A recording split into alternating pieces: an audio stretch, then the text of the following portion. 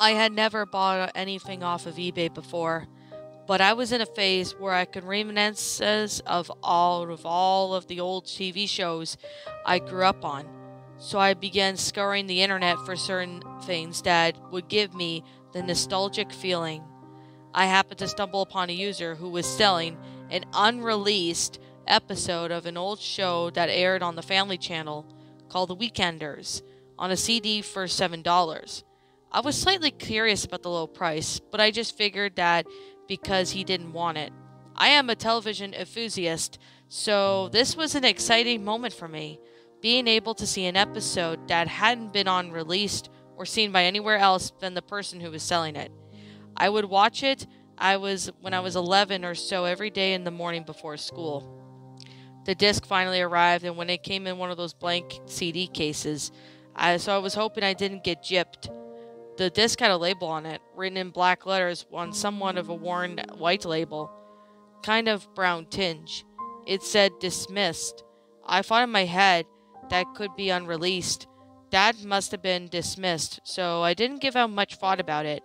It was getting dark outside in my living room and had a dark blue hue to it as the sun was almost down. My parents were at work and my brother asleep. I popped the disc into the DVD player on my TV and waited. The player usually quite worked quickly and surprised me that it didn't start too quickly. Well, the disc was $7, so you get what you paid for. I was sitting on my couch directly in front of the TV, just looking at the blank screen. It faded to a frame that it was only for a brief moment. I thought I'd missed something, so I rewinded back to the scene and paused. It was the Bahia Bay Day News lady with the headline covered in a black box and a blurry picture of what looked like a blue and red object in a plastic bag. Next to the yellow card had an X on it. I felt rather puzzled by what I was looking at, but I had to proceed to watch the rest. The theme song played as normal. I felt a sense of nostalgia hit me as I saw the characters' name cards appear up Carver, Lor, Tish, and I was shocked that Tino's name was missing. Three of the characters danced in front of the title card without Tino.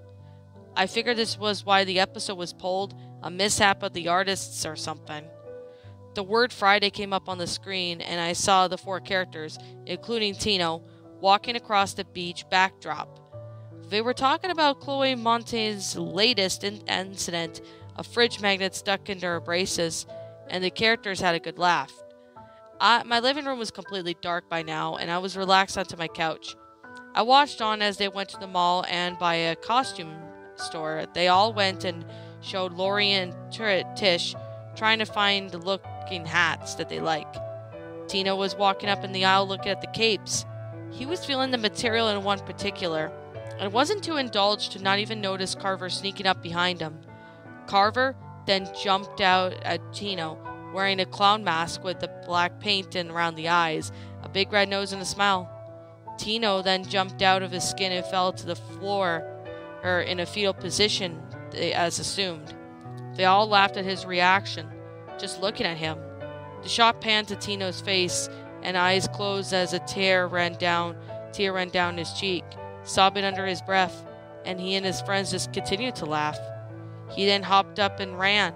I found this unusual because I was outraged that they would laugh at him while he was in tears.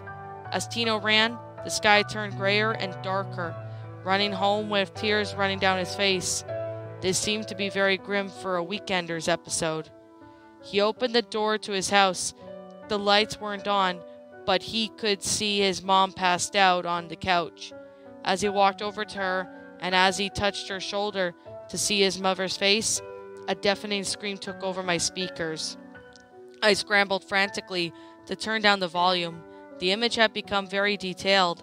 His mother was deceased, blood running down from the gash in her cheek. Her eyes were popped out of her head, almost looking as if they were staring at the viewer. Her hair was frazzled and discolored. Tino then backed off away as his mother's body fell violently at his feet. I was clutching onto my couch cushion. Tino then ran upstairs and slammed his door, then sat with his back to it. The TV went silent. At first, I thought I accidentally hit the mute button, but the volume was up. Tino sat quietly at the door, staring at the wall for about three minutes. He then stood up and walked over to his dresser. There was a pill bottle, and he tossed it at the wall violently before taking off his shirt.